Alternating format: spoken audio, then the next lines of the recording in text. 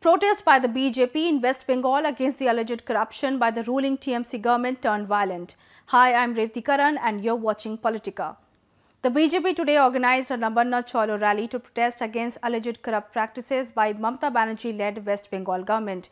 BJP supporters from across West Bengal arrived in Kolkata and neighbouring Howrah this morning to take part in what they termed Nabanna Abhiyan. However, as they were marching to State Secretariat in Kolkata, several BJP leaders including leader of opposition Suvendu Adhikari, BJP MP Locket Chatterjee, party leader Rahul Sinha and others were detained by the police. Meanwhile, the police sealed the Bengal Secretariat. Later in the day, State Party Chief Sukanta Majumdar was detained. He said Chief Minister Mamta Banerjee is scared and ran away after seeing the strength of the people gathered here. Police resorted to water cannons and tear gas shells to stop and disperse BJP workers in Santragachi area of Howrah as they clashed with the officials. There were reports of police vehicles being torched in Kolkata.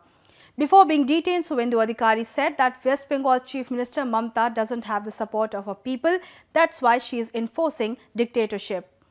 Further, the blame game over stone pelting and setting vehicles on fire ensued. BJP IT cell Amit Malviya alleged that Mamta Banerjee sent TMC cadres to pelt stones at the police so that later BJP could be blamed for it.